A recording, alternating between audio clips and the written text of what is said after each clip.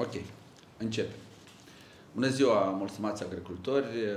Deja a devenit o tradiție bună de comunicare cu agricultorii din Republica Moldova prin intermediul acestor briefinguri, în, cazul, în cadrul cărora noi încercăm să vă informăm despre deciziile care se iau, despre măsurile care se iau pentru noastră. Uh, și doamna directoare de la IPA vine cu raportările despre mersul lucrurilor în ceea ce privește recepționarea dosarelor și plățile care sunt efectuate.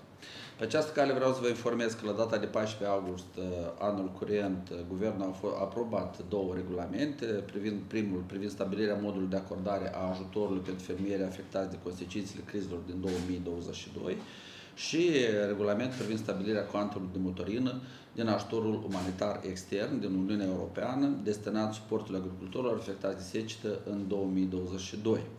În acest sens, în data de 21 august anul curent, Guvernul, prin hotărârea Guvernului 615, a alocat mijloace financiare din fondul de rezervă la IPA în total de 200 de milioane de lei. Uh, pe această cale am făcut o analiză la plăți începând cu 2020 și vreau să vă comunic în felul următor. Uh, în 2020 fondul uh, AIPA a, a avut 1 miliard 524 de milioane de lei cu tot cu banii care au fost distribuiți agricultorilor pentru subvenționarea pierderilor din, două, din vara, consecința secetei 19-20. În 2021 fondul de subvenționare a fost 1 miliard 535 de milioane de lei. În 2022 fondul de subvenționare s-a ridicat la 1 miliard 750 de milioane și iată că în 2023 fondul de subvenționare are în total 1 miliard 800 de milioane de lei. Uh, per total, în ultimii patru ani, agricultura din Republica Moldova a primit peste 6, 6 miliarde 609 milioane lei. Lucru care, evident, uh, nu poate să nu ne bucure, dar în același timp trebuie să înțelegem că situația în agricultură rămâne a fi una extrem de complicată și din câte vedem noi, inclusiv și nici acești 6 miliarde n-au uh, fost uh, suficient uh, de bine utilizate și folosite ca și subvenții uh, care să producă niște efecte economice, pentru că acest bani nu ajuta sub nicio formă la rezolvarea problemului cu productivitatea extrem de joasă, pentru că productivitatea foarte joasă noi avem pentru că în agricultura din Republica Moldova nu se folosesc uh, agronomii și nu se folosește instituția pedologiei. Uh, noi nu avem uh, încă și urmează la nivel de minister să împărțim Republica Moldova în regiunea Nord, Centru, Sud și Institutul nostru DIMO al Ministerului Agriculturii să vină cu recomandări foarte clare de tipuri de culturi care pot fi crescute în aceste regiuni, pentru că de principiu asta ar fi misiunea lor.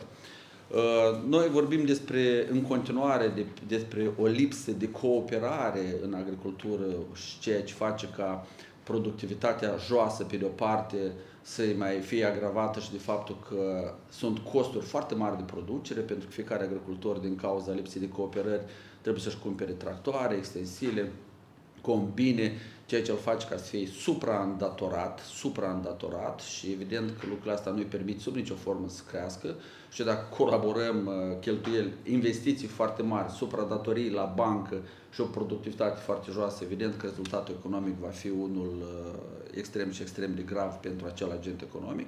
Și în plus la toate, lipsa de cooperare îi face ca ei să fie incapabili de fiecare de sine stătător să se ocupe sau de export sau să aibă un volum de marfă care ar fi interesant pentru export sau să poată să negocieze un preț pentru un lot de marfă uniformizat și făcut mai mare. Uh, și vom lucra și la acest capitol și vom promova în continuare cooperarea ca o formă uh, unică prin care agricultura din Republica Moldova ar fi capabilă să facă față concurenței Uh, din regiune, măcar cel puțin, ca să nu mai spunem de cea globală.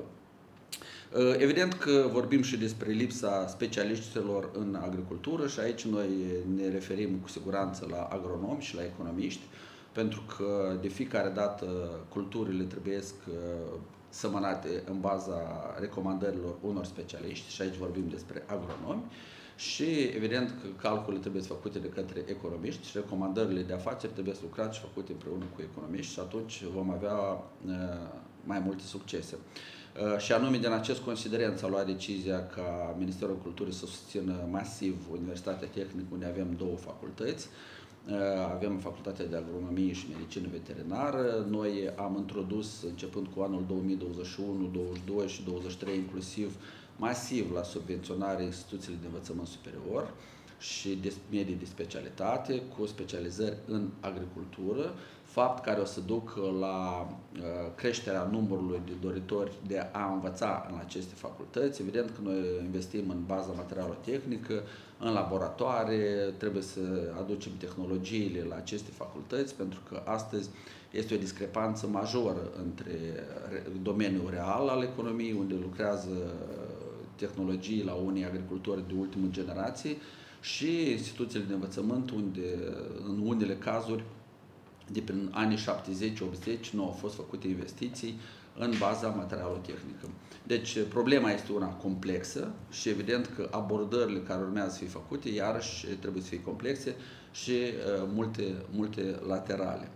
Uh, noi cunoaștem deja că, practic, uh, persoanele care sunt eligibile pentru a primi subvenții conform uh, noi legi de subvenționare sunt fermierii micro, mici, medii și mijlocii, sunt grupurile de producători, cooperativele de întreprinzători, asociațiile utilizatori de apă. În premieră, că noi am schimbat legea 171, au o personalitate juridică și sunt să atenționez, având personalitate juridică, sunt eligibili pentru a depune uh, la subvenționare pentru tot ce ține de sistemele de, de, de irigare. Uh, evident că vorbim despre organizațiile din domeniul cercetării și inovării în baza unor proiecte de restabilire și aici avem uh, mai multe uh, procese de reconstituire a sistemului nostru din domeniul cercetării și inovației, a inovării care sunt subordonate Ministerului Agriculturii și instituții de învățământ cu profil agroalimentar. În urma reformei, pe această cale vreau să vă comunic la facultățile de agronomie și la Facultatea de Medicină Veterinară de la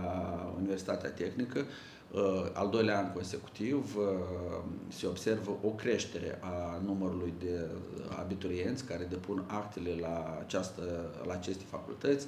Noi avem peste uh, vineri, săptămâna trecută, era peste 160 de dosare depuse la facultățile de agronomie și 45 de abiturienți din Republica Moldova au depus la Facultatea de Medicină Veterinară.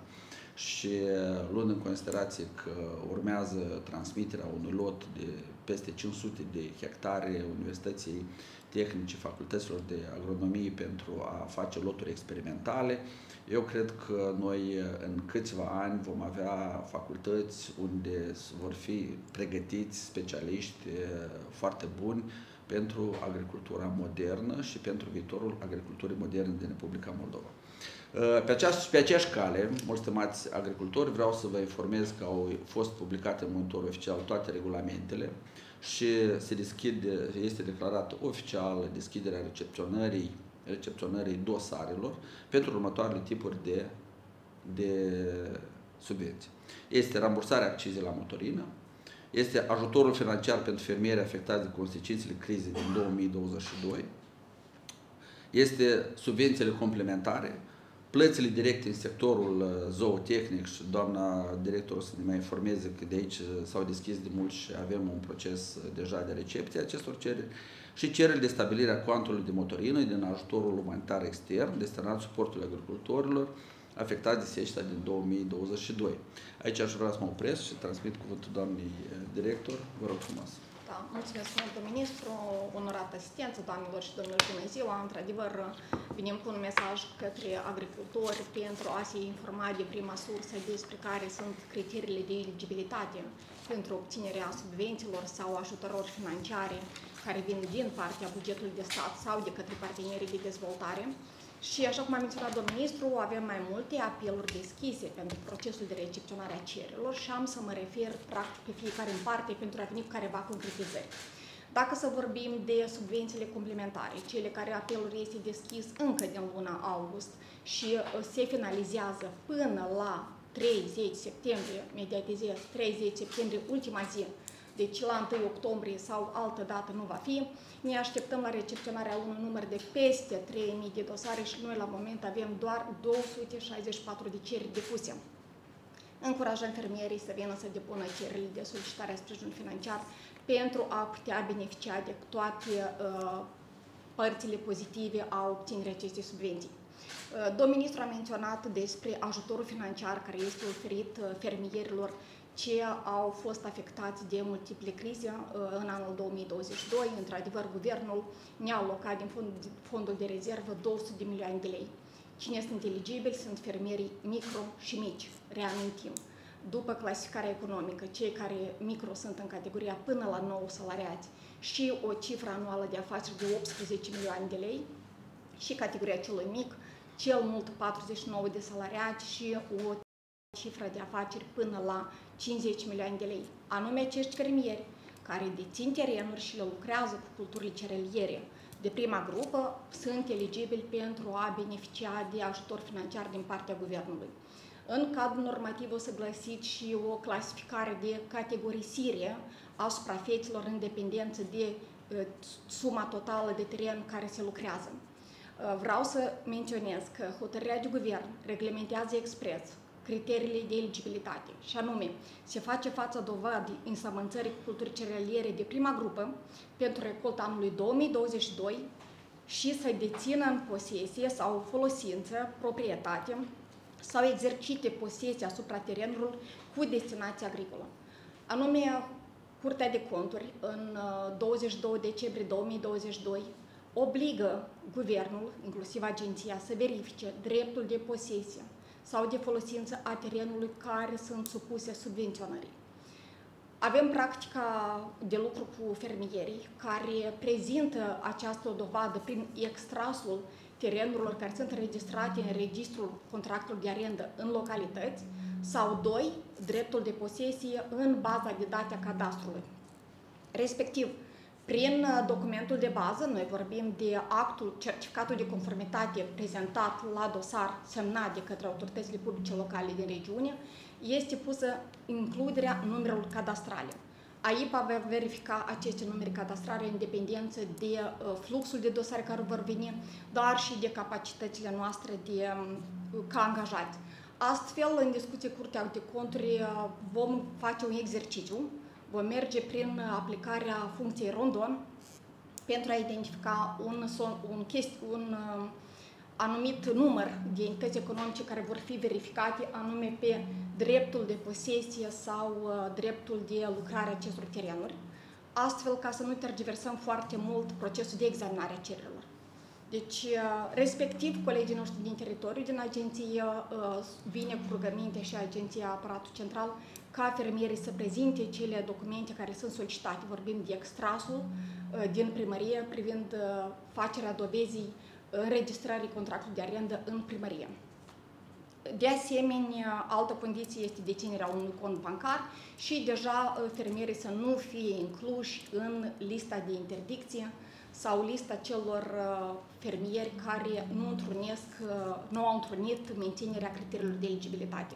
Vreau să zic că aceste criterii de eligibilitate vor fi menținute și pentru fermierii care vor uh, depune cereri la obținerea ajutorului din partea Guvernului României, care vine cu motorina, astfel că din data 25 de vineri agenția este disponibilă de a recepționa cereri în acest sens, Termenul limită de recepționare a acestora vor fi până la 29 septembrie, deci încurajăm fermierii să meargă în oficii teritoriale și să depună aceste cereri pentru a beneficia de acest uh, ajutor. Uh, dacă se vorbesc despre plățile directe pentru sectorul zootehnic care sunt alocate, avem mecanismul nou, uh, cel de beneficiare de subvenții pentru un kilogram de lapte de vacă, vorbim de 3 lei pentru un kilogram, Uh, până la moment, uh, pe acest mecanism avem recepționate 42 de cereri, suma estimativ uh, solicitată către fermieri este 42,5 milioane de lei. Depunerea cererilor este până la 15 septembrie, rugăm foarte frumos pe această cale crescătorii de animale să vină să depună dosarul și tot sectorul zootehnic poate beneficia și de plată pentru, un kil, pentru cap de animal, pentru sectorul ovine, caprine, cabaline, dar și pentru juncile peste 3 luni și până la 12 luni pentru uh, bovine, astfel că uh, sunt uh, posibilitate de depunere acestor cereri până la 30 septembrie. Și, domnul ministru, dacă îmi permiteți, am să anunț că vineri, în momentul oficial, a fost publicat apelul prin care Ministerul Agriculturii anunță deschiderea, procesul de recepționare a cererilor pentru subvențiile în avans. Și în acest caz sunt eligibili fermierii micro și mici, dar și autoritățile publice locale, care uh, pot să depună cereri pentru domeniile de intervenție ce sunt descrise în această hotărâre de guvern și mai nou uh, pentru uh, colegiile și instituțiile de cercetări științifice în domeniul agroalimentar uh, este o măsură uh, specială prin care pot solicita subvenții în avans și de a beneficia de sprijin din partea Guvernului Republicii Moldova. Uh, apelul pentru plățile în avans este deschis începând cu 18 septembrie și are ca finalitate 16 noiembrie 2023. În aceeași perioadă, agenția va recepționa și cererile pentru subvențiile pe investiții, anume cei care fermierii le cunosc deja începând cu anul 2010 ca subvenții post-investiționale, unde avem peste 20 domenii de intervenție și pot beneficia toate categoriile de subiecti pe care a menționat domnul ministru ceva mai înainte. Vă rugăm foarte mult, mediatizați-vă de pe site-ul agenției, sunt incluse toate documentele necesare de prezentare a dosarului, inclusiv și termenul de depunere acestora pentru a putea beneficia de ajutorul care îl oferă uh, Guvernul Republicii Moldova. Ok. Astea fiind spuse, deci uh, atenționăm încă o dată să vă informați de pe site-ul AIPA despre documentele care trebuie să depuse și în cel mai scurt timp să vă conformați și să îndepliniți toate obligațiunile ca să vă putem uh, plăti aceste tipuri de subvenții. Da. Domnule Colea, dacă îmi permiteți, Tata Mori, TVR Moldova, uh, vreau să-mi spuneți încă o dată să se înțeleagă mai bine pentru anul 2023, care este suma subvențiilor la care pot spera agricultorii noștri? Nu pot spera. Deci este o sumă foarte certă. Este un miliard 800 de milioane de lei bani care au fost atribuiți AIPA pentru toate programele de subvenționare. Deci este o sumă pur și simplu, ca să înțelegeți, în 2019 suma de subvenții pentru agricultură era 1 miliard 150 de milioane de lei. Și numai în 4 ani de zile a crescut până la 1 miliard 800 de milioane de lei. Deci este o sumă, ca să înțelegeți comparativ, pentru construcția de drumuri anul curent a fost dat 1 miliard 400 pentru toată Republica Moldova, pentru toți, toți cetățenii din Moldova de 2,5 milioane de locuitori, pentru aproximativ 900 de primării, pentru construcția drumurilor a fost dat 1 miliard 400, lucru care vorbește despre atitudinea extrem de corectă din partea guvernului pentru agricultură, dar v-am spus care sunt problemele de bază și din păcate analiza economică a acestor subvenții denotă că nu au influențat nici cum situația agricultorilor. Noi devenim, uh, uh, uh, încă suntem în continuare o țară exportatoare de cereale și observați că marea majoritate a agricultorilor care au probleme economice sunt exportatori sau sunt din lanțul valoric scurt, adică ei produc cereale și le dau la export, și de aici le se trage, adică productivitate foarte joasă, prețuri de cost foarte mari și prețurile de vânzare sunt așa cum sunt, nu le poate dicta nimic, le dictează bursa și o mie și una de consecințe. Evident că lucrurile astea toate fac ca ei să facă parte dintr-un lanț valoric scurt și în consecință profituri foarte mici sau deloc și când tragem uh, linia vedem că practic 6 miliarde de bani dați până acum, au dezvoltat o agricultură bazată pe producere de materie primă și deloc taxată pe procesare. Și noi importăm uh, inclusiv uh, biscuiți, macaroane și alte tipuri de produse alimentare. Uh, acești producători de cereale, din păcate, nu sunt incluți în alte lanțuri valorice, cum ar fi producerea de făină, pâine, sau nu sunt incluși masiv în lanțurile valorice de creșterea cărnii din zootehnie, pentru că, paradoxal, noi avem materie primă care stă la baza forajerii animalelor, porumbul și grâul, și în același timp noi observăm că importăm carne și am avut vineri întâlniri cu procesatorii de carne că vor scoatem taxele vamale la importul de carne, vor scoatem taxe vamale la importul de unt, că noi nu avem dezvoltată zootehnia.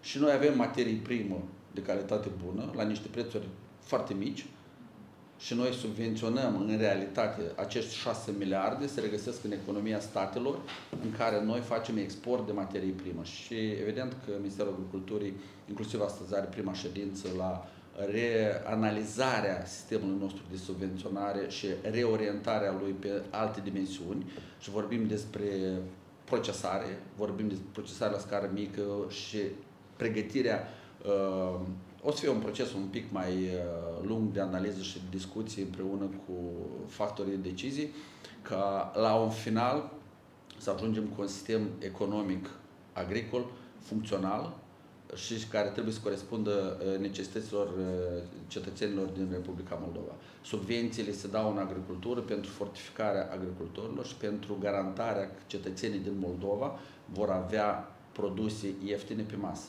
Și lucrul ăsta nu se întâmplă. Deci unul dintre, dacă să bifăm uh, din efectele uh, subvențiilor date de către poporul Republicii Moldova în agricultură, el nu se îndeplinește. Pentru că noi observăm că prețurile mici la cereale nu se reflectă în prețurile, ca să, să se micșoreze prețurile la produse derivate din cereale, cum ar fi malaiul, nu știu, alt tipuri de produse, pâinea, produse de panificație, ei sunt în două lumi paralele. Deci noi tot ce producem ca și cereale absolut sunt orientați numai spre export și tot ceilalți care produc uh, sau chiar și produc și produse de panificație în Republica Moldova sunt orientați spre import de făină sau uh, singuri își cresc uh, grâul sau de import de grâu. Și lucrurile astea toate trebuie de găsit mecanismul economic de interconectat. Deci asta este una dintre problemele de bază a economiei din Republica Moldova pe dimensiunea agricolă, lipsa de relații pe orizontală între agricultorii din Moldova. Și lucrul ăsta noi îl observăm în toate lanțurile valorice. În toate lanțurile valorice. Procesatorii de vin, uh, nu, nu, dar cochetează cu ideea de a importa vin vrac. Și noi trebuie să ne implicăm și să reducem sau să anulăm dreptul la subvenționare pentru cei care produc vin și îmbutelează vin și importă vin și nu cumpără struguri din Republica Moldova. Trebuie să le anulăm dreptul la subvenționare. Sau trebuie să includem producătorii de cereale într-un alt lanț valoric. Adică noi trebuie să subvenționăm, spre exemplu, kilogramul de carne, trebuie să subvenționăm kilogram oul sau kilogram de carne de pasăre și să reducem sau să anulăm subvențiile pentru cereale, pentru că de principiu noi producem un milion și jumătate de tone de cereale cu efect zero pentru economia națională și efect zero pentru cetățenii din Republica Moldova, pentru că prețurile astea nu se reflectă sub nicio formă în starea de lucruri în economia noastră națională. Și acești bani, toate țările le dau în agricultură, ca să garanteze că pe masa cetățenilor din țările care au plătit aceste subvenții ajung produse sigure și ieftine, care nu depind atât de mult de fluctuația prețurilor. Deci componenta economică este extrem de importantă și ea lipsește cu desăvârșire. Nu sunt vinoveți agricultorii că de-a lungul acestor 30 de ani eh, guvernele și ministerele nu și-au pus această problemă și n-au făcut această analiză, pentru că tot ce s-a dezvoltat, s-a dezvoltat nu datorită, dar în ciuda, și noi acum urmează împreună cu agricultorii, reieșind din situația lor. Să știți că marea majoritate sunt conștienți de situația foarte gravă și marea majoritate sunt conștienți că lucrurile trebuie schimbate, că nu mai pot merge așa. Deci noi suntem uh, deja incluși într-un proces de concurență acerbă regională. Noi tot ce producem în Moldova se produce și în România și în Ucraina, numai cu o productivitate extraordinară, mult mai mare și în cantități mult mai mari. Și în cantități mult mai mari. Nu există niciun produs pe care noi l-am produce în Moldova și nu s-ar produce în regiune și nici măcar uh, în toată Europa. Adică, practic, toate produsele ce le facem noi sunt produse peste tot și de asta noi trebuie să devenim mult mai buni din punct de vedere economic ca să putem să facem față concurenței. Deci, uh, în realitate, noi suntem în uh, faza în care vorbim despre necesitatea efectuării unei revoluții de abordare, de gândire în agricultura din Republica Moldova, ca să putem să facem față Uh, concurenței acerbe. Concurenței acerbe, inclusiv și interne. Pentru că astăzi, de ce, spre exemplu, unii uh, procesatori sau unii crescători de animale uh, preferă să meargă să cumpere cerealele din Ucraina? Avem, nu foarte multe, sunt cantități mici, pentru că prețurile sunt mai mici. Și asta înseamnă respectiv și ou mai ieftine pentru cetățenii din Republica Moldova. Dacă vorbim despre crescători de animale.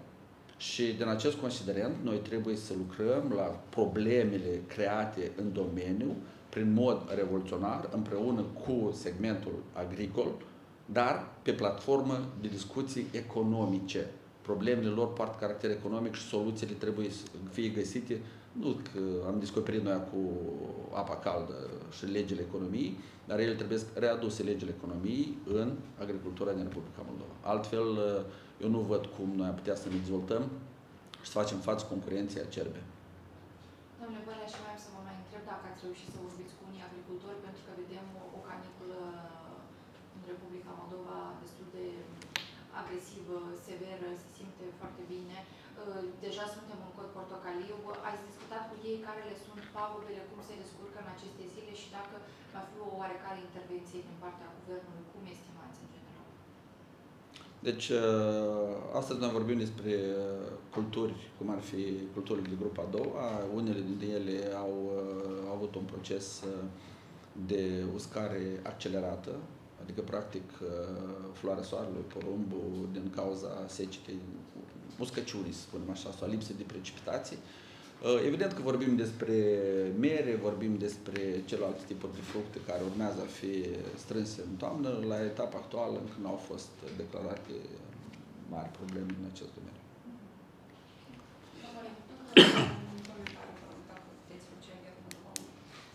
Fermierii au atenționat că în lunile octombrie-noiembrie ar putea să vină la Chișinău să protesteze cu tractoarele, mulțumiți că nu le se îndeplinesc cerințele și două deja ați vorbit despre astăzi că s-au rezolvat în mare măsură. Nu în mare măsură, total. Un miliard 800 de milioane. Nu, dar noi, noi trebuie să vorbim despre agricultură și atribuirea agricultorilor în complexitatea problemei. Nu trebuie să rupem segmentar. Deci noi vorbim despre un miliard 800 de milioane, dar în ultimii patru ani 6 miliarde de lei dați în agricultură din Republica Moldova. Și problemele nu sunt în lipsa banilor. Înțelegeți? Problema este în abordare și în atitudine. Aici trebuie de schimbat. Și eu v-am spus care sunt problemele agriculturii din Republica Moldova. Nu banii. Banii sunt plan 2. Întotdeauna trebuie să schimbată abordarea și atitudinea în problematică. Pentru că aceiași oameni cu aceleași probleme și în 2017, și în 18, și în 19, și 20. Nu contează că în 19 a fost secetă și a fost, nu au reușit, în 20 a fost COVID și nu au reușit. Păi anul curent uh, și pentru totdeauna, spre exemplu, Ucraina nu va dispărea niciodată de pe piața cerealelor din Uniunea Europeană sau de pe piețele unde noi mergem permanent. Niciodată nu va dispărea. Și tu trebuie să te înveți că în uh, economia regională și globală sunt lucruri care nu depind deloc de tine. Spre exemplu, Uh, haideți să luăm un alt produs. Să luăm mierea de albini. Să attestă și acolo scădere la exporturi, etc. Păi pe mierea de albini au intrat masiv ucraineni ca și țară producătoare de miere de albini și evident China. Și evident și China. Păi ce este foarte clar din această situație? Că tu trebuie să te redescoperi pe dimensiunea producerii. Trebuie să-ți reduci din cheltuielile tale și trebuie să găsești altă modalitate de a fi bun și de a concura cu toată lumea. Pentru că dacă și s-a ajuns la aparatele care noastre le aveți în față, care telefoane și etc., păi această dezvoltare a tehnologiilor și a omenirii se datorează în exclusivitate concurenței. Concurenței, adică tu trebuie în fiecare zi să te redescoperi, să fii mai bun și mai bun și mai bun. În fiecare secundă când te-ai stopat din procesul de dezvoltare, în următoarea secundă ai pierdut. Așa că Ministerul Agriculturii este foarte bine ancorat în realitățile economice ale agricultorilor din Republica Moldova. Repet, a tuturor. A tuturor. Și problematica lor este cea care am spus-o eu. Și din păcate nu rezolvă nimic din aceste probleme, abordarea cu lucrurile care sunt cerute, dar ea trebuie să fie sistemică, la nivel de cooperare, la nivel de inclusiv uh, regionalizare a agriculturii din Republica Moldova, că o să vedeți în toamnă o să apară iarăși sudul Republicii Moldova cu probleme de cultură, eu sunt sigur, de cultură de grupa a doua. Floarea soarelui, spre exemplu, poate mai puțin, dar porumb. Și, sincer să fiu, pentru toată lumea este clar că ultimii 2000 de ani în sudul Republicii Moldova precipitații sunt la nivel de 200-300 de mm și porumbul are nevoie de 580-600 de mm ca să crească. Adică, practic, o să urmeze la nivel de lege, probabil, să stabilim că dacă tu ai în regiunea în care tu cultivi precipitații sub 600 sau sub 550 mm, tu nu trebuie să pui porumb. Deci o să ajungem la nivelul ăsta, pentru că dacă tu nu ai agronom să-ți spună lucrul ăsta, noi la nivel de lege centralizat o să spunem că tu nu poți pui porumb în sudul Republicii Moldova. Nu poți. Și asta nu e de ieri, asta e de 2000 de ani.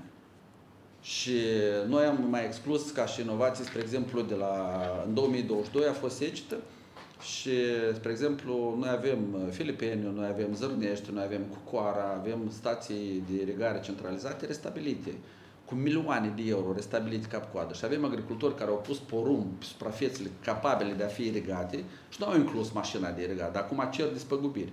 Evident că ele vor fi excluse de la cele despăgubiri.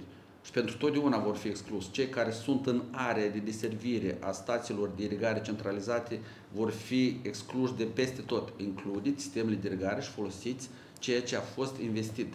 Și noi vorbim de milioane de euro investiții din partea poporului american pentru poporul din Republica Moldova care nu sunt folosite.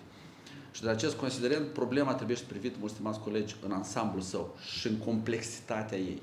În complexitatea ei. Nu trebuie de privit în gust că niciodată. Fiecare problemă privită în gust sau ruptă din context duce numai la consecințe grave pentru tot segmentul și nu duce la rezolvarea problemei pentru cel care o cere. Ministerul Agriculturii are viziunea aceasta foarte clară și complexă asupra problemei. Noi nu privim în gust numai pentru cineva anume, pentru o persoană, 1, 2, 3, 4. Pentru Ministerul Agriculturii, începând de la cel care produce potcoave și terminând cel care import softuri care sunt folosite în agricultură, toți sunt egali și toți sunt extrem de importanți. Nu există agricultori importanți și agricultori mai puțin importanți. Toți sunt absolut importanți și toți își au rolul lor în lanțul valoric de aprovizionare a Republicii Moldova cu produse alimentare. Numai că ele trebuie redimensionate, ei trebuie uh, reuniți, ei trebuie făcuți în, uh, să, se, să, se, nu știu, să se interconecteze. Evident că benevol, dar trebuie să motivați, trebuie să demonstrată adevărată motivație ca aceste persoane să, să stabilească relații pe orizontală între ei. Aici este marea problema lor. Da.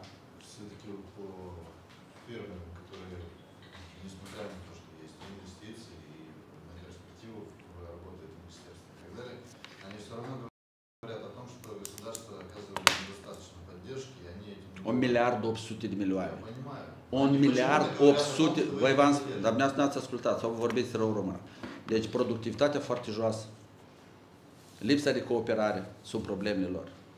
Lipsa de cooperare. Ce înseamnă lipsa de cooperare? Când tu ai 300 de hectare sau 400 de hectare și tu îți cumperi și tractoare și combină și toate le iei în credit, tu ești supraîndatorat, tu ești robul băncilor. Robul băncilor și tu cultivi grâu și porumb pe care tu îl dai la export. Poți tu oare cu așa un nivel de supraîndatorare să-ți acoperi cheltuielile tale? Deci din start, din prima secundă, din punct de vedere economic, activitatea ta nu este sustenabilă. Din punct de vedere economic nu este sustenabilă. Deci este mai mult decât clar acest lucru. Dar dacă s-ar crea cel puțin măcar o cooperativă la nivel de raion, mm. pentru că sunt, nu știu, localități, sunt 2-3 agenți economici, dacă ei la nivel de localități s-ar crea aceste cooperative și ar folosi o combină, o combină care costă milioane de lei, la care se plătește dobânda, costă sute de mii de lei, și ea lucrează câteva zile pe an, sau tractoarele, sau sistemele de sămănători, sau celelalte utilaje, toate care lucrează câteva zile pe an, la o plănuire a activității foarte bine pusă la punct, o cooperativă ar face efect pur și simplu incredibil de salvare a resurselor financiare. Și nu există activități economice care să poartă caracter ocazional și din păcate agricultura din Moldova este ocazională. El strânge grâu, l-a pus sau l-a vândut din câmp și o parte a mai pus-o în depozite, după care el are 11 luni până la următoarea roadă, în care el trebuie să investească continuu și nu mai are venituri. Nu există astfel de activități. Ca tu să produci venit o singură dată în an și pe urmă 11 ani să ai de acoperit și dobândă, și credite la bancă, și cheltuielile curente. Nu există așa ceva. Deci, din punct de vedere economic, activitatea afacerilor lor este lipsită de sustenabilitate. Deci este clar că ei trebuie să-și creeze și alte activități conexe. Nu poți să crești porumb și grâu numai aceste două culturi, să le vinzi din câmp și să-ți acoperi cheltuielile tale fără neavând uh, altă activitate conexă. Mai ales la nivelul de productivitate. Aici este problema numărul 1. Nu în acest 1 miliard 800. Deci, din 2019 până acum s-a majorat cu 700 de miliarde constant în fiecare an. Care este efectul? De câți ani sunteți jurnalist? Care este efectul din punct de vedere economic? Și în 2019 tot aceste persoane au vorbit. Și în 20, în 21, și în 22, și în 23. Și dacă noi nu schimbăm abordarea în anul curent împreună cu dânsii, și în 24, și în 25, și în 26. Pentru că problema nu este în acești bani. Repet, nu este în bani, dar în forma economică de activitate pe care o practic ei. Aici este toată problema. Aici este toată problema. Așa că poate fi și 2 miliarde și 3 miliarde. Nu va fi niciun efect economic. El va fi la fel lipsit de, de, de, de profitabilitate. Pentru că formula lui de afaceri este lipsită de profitabilitate. Republica Moldova consumă 330.000 de tone de grâu. Anul curent noi am produs o milion și jumătate. Credeți că a existat vreun plan, business plan de afaceri pentru crearea acestei suprafețe sau însămânțarea acestei suprafețe? Noi îți producem peste 2 milioane de tone de porumb și noi consumăm în jur de 400-500 de mii la nivelul de dezvoltare a zootehniei din Republica Moldova. Noi am însămânțat și am majorat suprafețele de rapți, care merge 100% la export și nu este produs în Republica Moldova nimic. De ceea ce este foarte clar că Ministerul Agriculturii, împreună cu domeniul de afaceri și cu asociațiile de profil, pentru că valoarea adevărată pentru agricultori se aduce în asociațiile de profil, unde ei sunt foarte înguști specializați, nu sunt despre tot.